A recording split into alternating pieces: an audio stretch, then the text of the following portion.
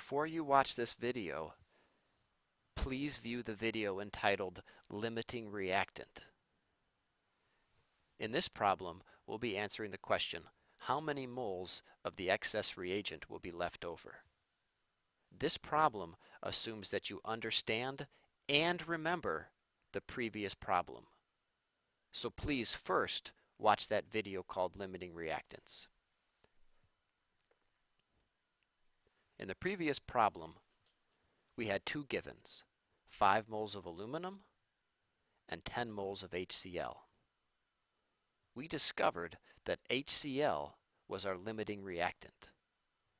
Aluminum was our reactant that was in excess. So the HCl ran out and the aluminum was extra.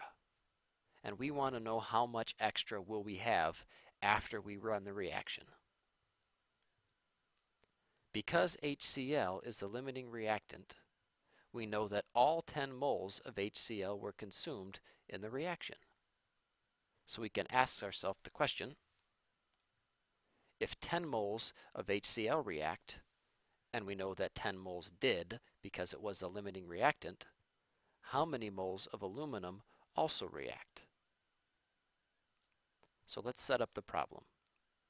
Start with the given, 10 moles of HCl, and then we need a conversion factor.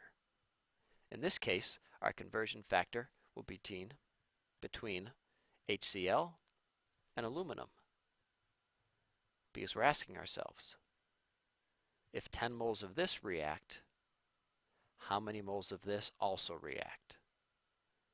So our conversion factor is 2 to 6. So what this means, if we react 10 moles of acid, 3.3 moles of aluminum also react.